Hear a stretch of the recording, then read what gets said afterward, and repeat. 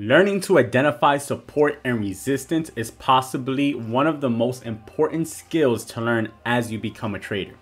Support and resistance zones is the basic foundation of trading. So trying to trade without being a master of finding these is like trying to build a house without, well, a foundation. Today, we are learning exactly how to identify support and resistance in any chart. Let's jump right in.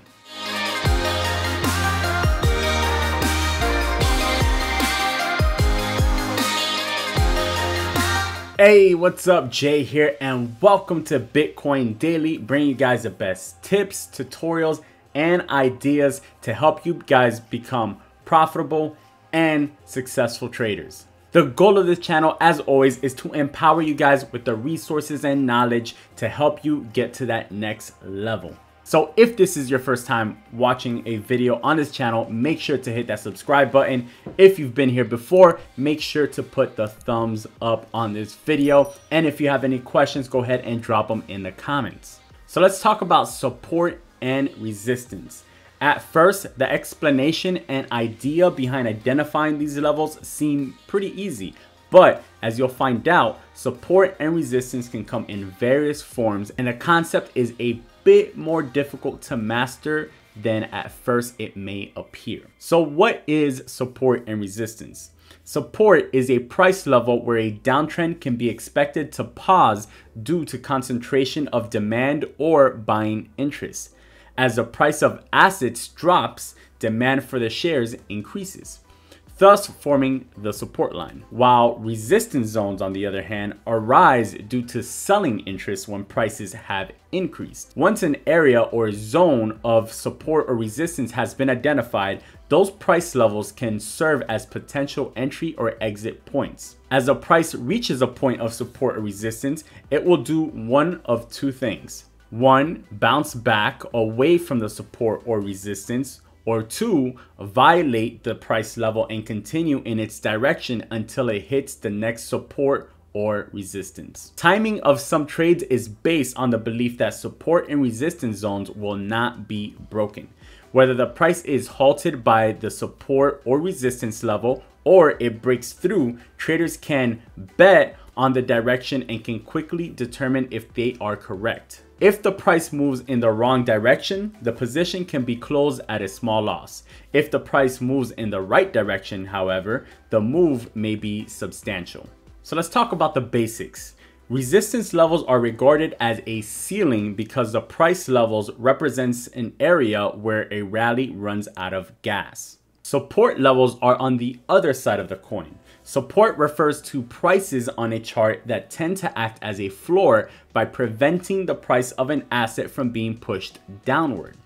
As you can see from this chart, the ability to identify a level of support can also coincide with a buying opportunity because this is generally the area where the market participants see value and start to push prices higher again. So let's jump into the charts real quick. If we look at this Bitcoin chart right here, we can identify really quickly where the price has bounced, which would be the support.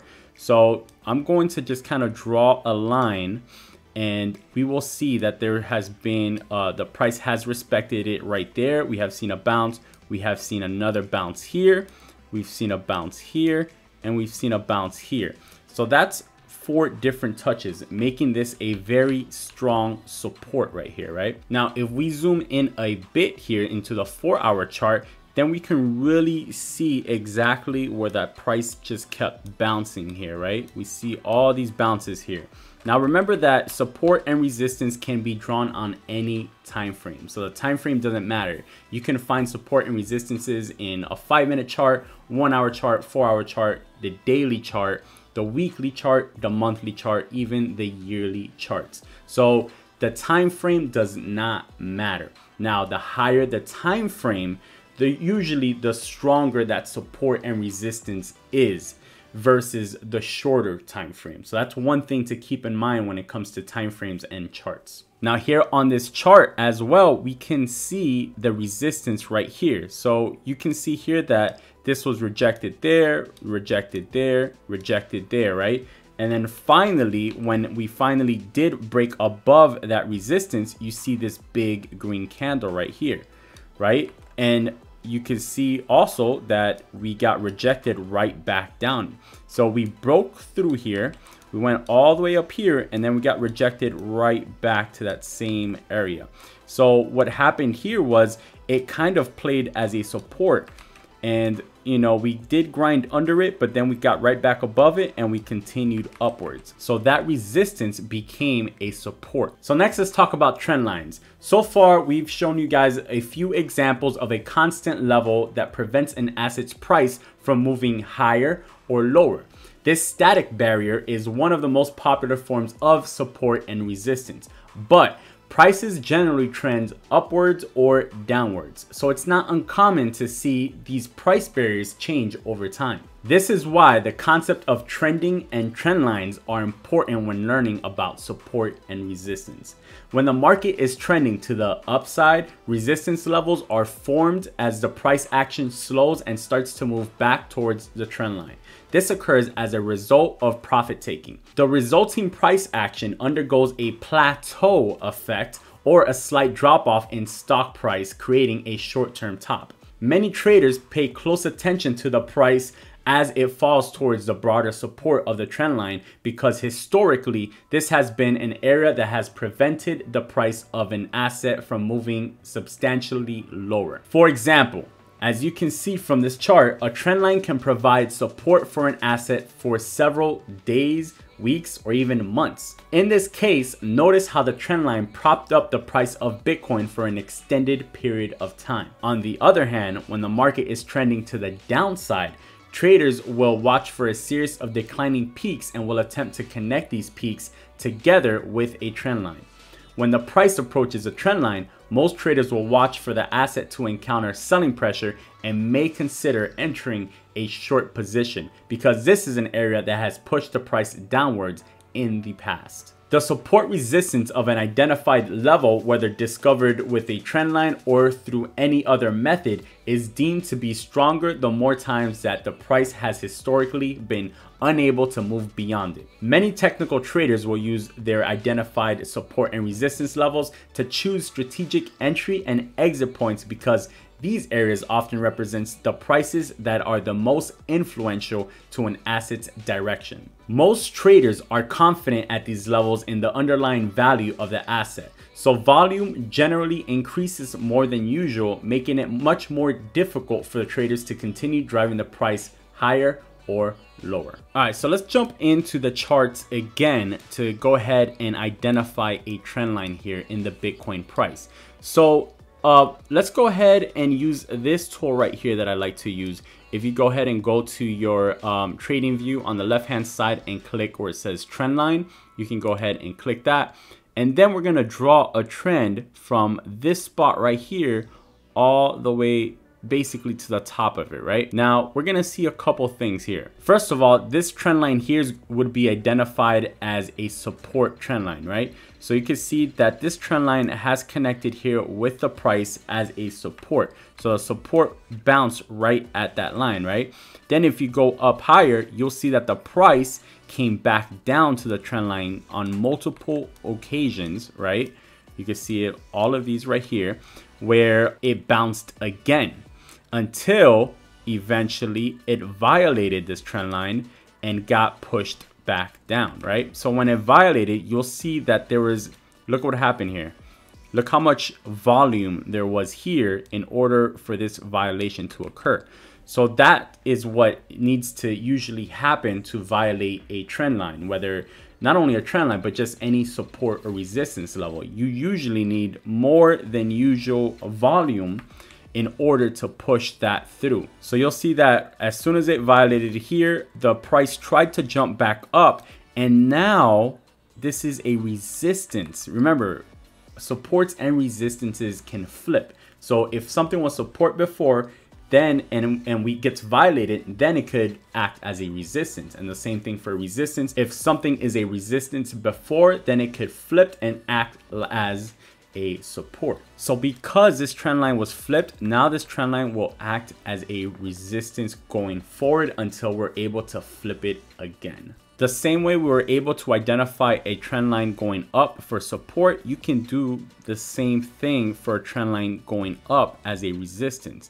So if we just set our trend line kind of right around there and do something like this, now we can see a trend line that acts as a resistance, right? So we see the rejection there, then it kind of uh, ended up bouncing back to the support trend line. Then over here, we had multiple resistant rejections where it uh, got shot back down to the trend line, right? And eventually it ended up violating the lower trend line, which is a support, which pushed the price a lot lower. Another thing you can do with trend lines is when you look at them like this, you can kind of pick out a channel and sometimes these channel show you very specific patterns that have certain probabilities. So I, this obviously goes into a more complicated and in-depth scope that's that we won't be covering in today's tutorial, but this is how you can start kind of uh, looking at patterns like this one, for example, is a rising wedge. So you can identify this pattern and kind of prepare for that next move. So I obviously know that this pattern here is a rising wedge. If you Google rising wedge and click on one of these images, you can see what this pattern usually means, right? So a rising wedge is usually bearish and can lead to a breakdown. And then you'll see here a falling wedge is usually a bullish pattern and can lead to a move up. So that's when you start putting these things together and that's why it's so important to before noting knowing the patterns you know how to draw these lines out. If you don't know how to draw out the support and resistance levels, then you will never be able to find these patterns. All right, so now let's talk about round numbers. I know a lot of you hear me talk about round numbers all the time and now you will know why. Another common characteristic of support resistance is that an asset's price may have a difficult time moving beyond a round number such as $50,000 or $60,000 per share. Most inexperienced traders tend to buy or sell assets when the price is at a whole number because they are more likely to feel that a stock is fairly valued at such levels. Most target prices or stop orders set by either retail investors or large investment banks are placed at round price levels rather than at price levels such as 50,006 or 50,060. Because so many orders are placed at the same level, these round numbers tend to act as a strong price barriers. If all the clients of an investment fund put in sell orders at a suggested target of, for example, $50,000, it would take an extreme number of purchases to absorb these sales and therefore a level of resistance would be created.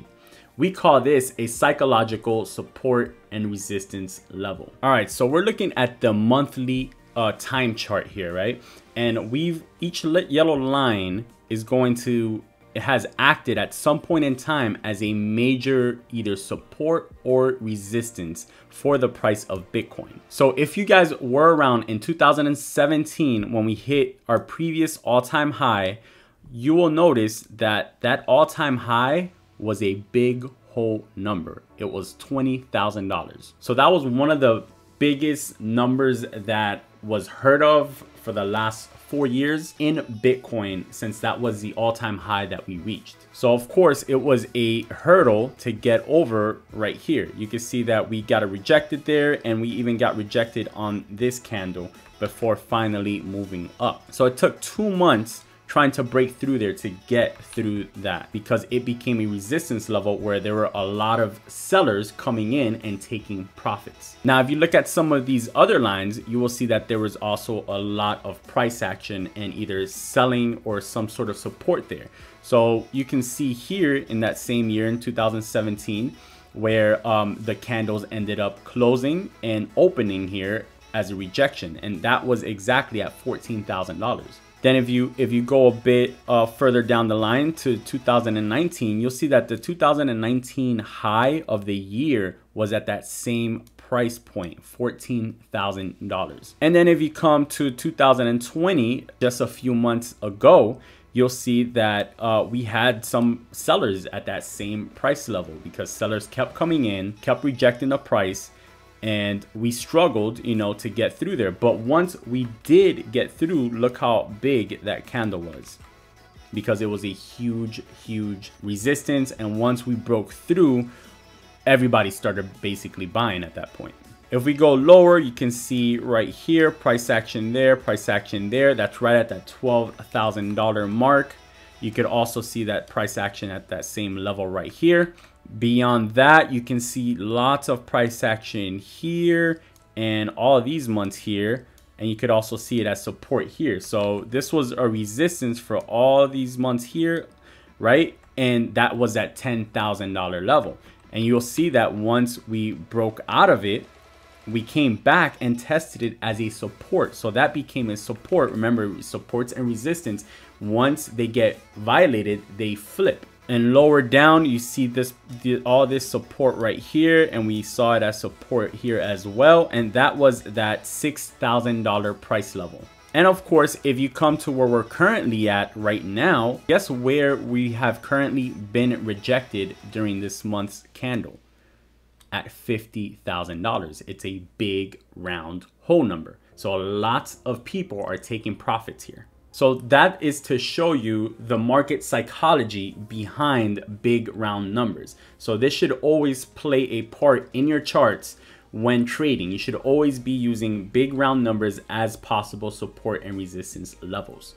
Alright guys, hopefully you guys are enjoying this video so far. Like I told you guys before, support and resistance is the foundation of becoming a skilled trader. So it is paramount to learning this. If you guys are enjoying this video so far, make sure to subscribe to the channel if you're new here. Also, make sure to like this video. And if you have any questions about anything on here, make sure to drop it in the comments. I'm always happy to give you guys some answers. Don't forget to turn on the notification bell. All right, so let's continue. So let's talk about moving averages. Most technical traders incorporate the power of various technical indicators, such as moving averages, to aid in predicting future short-term momentum. As you can see from this chart, a moving average is a constantly changing line that smooths out past price data while also allowing the trader to identify support and resistance. Notice how the price of the asset finds support at the moving average when the trend is up and how it acts as a resistance when the trend is down. Traders can use moving averages in a variety of ways, such as to anticipate moves to the upside when price lines cross above a key moving average, or to exit trades when the price drops below a moving average. Regardless of how the moving average is used, it often creates an automatic support and resistance level. Most traders will experiment with different time periods in their moving averages so that they can find one that works best for them.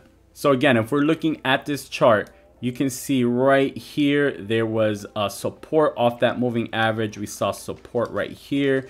We saw another bounce here. And then notice that the moving average got violated. So once that happened, look at that. Now it's a resistance until boom, it got violated again right here and now it has yet again become support. And it just continues doing that. So you have to find the moving average one that works best for your trading style and for your preference. The moving averages i use are usually 21 and 50 um, sometimes i use the eight day moving average. I use sometimes the 200 day moving average. So you have to just mess around with different moving averages and see which ones work best for you. A lot of people put all those moving averages at the same time on their chart. I just like to try to keep a cleaner chart so I don't like to have massive amounts of moving, averages, but some people don't mind them so um, you can test that out as well. Other indicators. In technical analysis, many indicators have been developed to identify barriers to future price action. These indicators seem complicated at first and it often takes practice and experience to use them effectively. Regardless of an indicator's complexity, however, the interpretation of the identified barrier should be consistent to those achieved through simpler methods. For example, let's go ahead and talk about the Fibonacci retracement tool. The Fibonacci retracement tool is one of my personal favorite tools to use because it clearly identifies levels of potential support and resistance. The reasoning behind how this indicator calculates the various levels of support and resistance is beyond the scope of this tutorial. But if you're interested in finding out more on how the Fibonacci retracement works with a full in-depth tutorial, you can scroll, go to uh, videos, scroll down uh, the playlist, and you will see it right here, how to trade using Fibonacci retracement tool. So we posted this one about five months ago and it goes pretty in depth on the history, the theory behind it and how it works and how you can use it to trade. If we go ahead and pull up the chart here, you can see exactly where there's some support here. So this is how we're using the Fibonacci retracement tool to identify supports. So we know that this is a support here because it is one of the Fibonacci retracement levels. So we're using this right now as we're trading, as we look for entries, we use this right here as a support resistance level to find an entry. The same way right here, you saw there was a lot of resistance there. Once it jumped over it, right? And it came back down and now it's testing it as a support. So as long as this support holds here, we're expecting a bounce back to the upside. You could also see the levels here as it got close to that Fibonacci retracement level there, it got rejected down and then it bounced between this support here, this Fibonacci level here and this level here until it got violated and then it did end up jumping back up though. So you can see how this was just jumping in between these two support levels and by the way, the 61.8% uh, Fibonacci level is known as the golden ratio, where most things during a retracement end up bouncing. As you can see, ended up happening here. Um, it ended up that ended up being the bounce to where we currently are now. So remember how we use the terms floor for support and ceiling for resistance? Let's continue to use the house analogy and let's look at price as a rubber ball that's bouncing in a room from the floor or support and then rebound off the ceiling or resistance. A ball that continues to bounce between the floor and the ceiling is similar to a trading instrument that is experiencing price consolidation between support and resistance. Now imagine, okay, let's close our eyes and imagine the bouncing ball between the floor and the ceiling. Let's imagine that that ball in mid-flight changes to a bowling ball. This extra force, if applied on the way up, will push the ball through the resistance level. On the way down, it will push the ball through the support level. Either way, extra force or enthusiasm from either the bulls or bears is needed to break through the support or resistance. A previous support level will sometimes become a resistance level when the price attempts to move back up. And conversely, a resistance level will become a support level as the price temporarily falls back. Like we told you before, support and resistances always flip. Price charts allow traders and investors to visually identify areas of support and resistance and they give clues regarding to the significance of these price levels. More specifically, they look at one, the number of touches. The more times the price tests a support or resistance level, the more significant the level becomes. When prices keep bouncing off a support or resistance level, more buyers and sellers notice and will base trading decisions based off these levels. Next is preceding price move. Support and resistance zones are likely to be more significant when they are preceded by steep advances or declines. For example, a fast, steep advance or uptrend will be met with more competition and enthusiasm and may be halted by a more significant resistance level than a slow, steady advance. A slow advance may not attract as much attention. This is a good example of how market psychology drives technical indicators. Next is volume at certain price levels.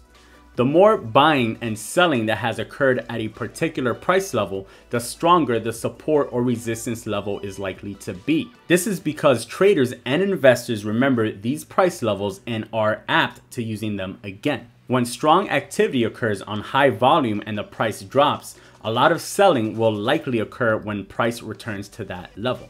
since people are far more comfortable closing out a trade at break even point rather than at a loss. And last but not least is time. Support and resistance zones become more significant if the price levels have been tested regularly over an extended period of time. So we can see here number of touches. There was a whole lot of touches here.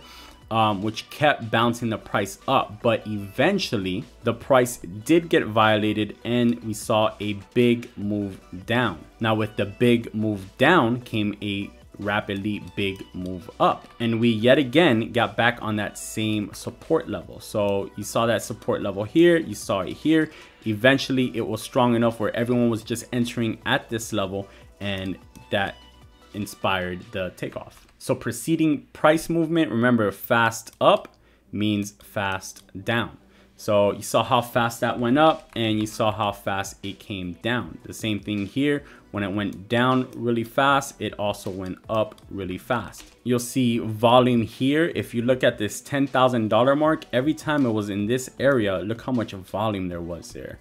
And the same thing here, when we when we look at this right here, when this move finally ended up really taking off, look at all that volume.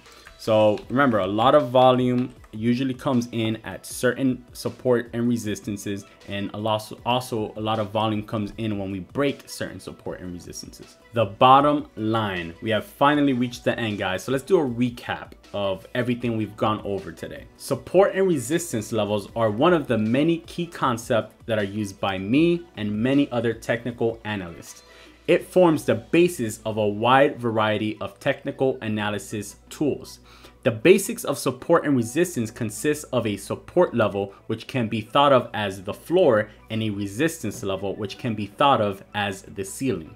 Prices fall and test a support level, which will either hold and the price will bounce back up, or the support level will be violated and the price will drop through the support and likely continue lower to the next support. Determining future levels of support can drastically improve the returns of a short-term investing strategy because it gives traders an accurate picture of what price levels should prop up the price in the event of a correction. Conversely, foreseeing a level of resistance can be advantageous because this is a price level that could potentially harm a long position, signifying an area where investors have a high willingness to sell.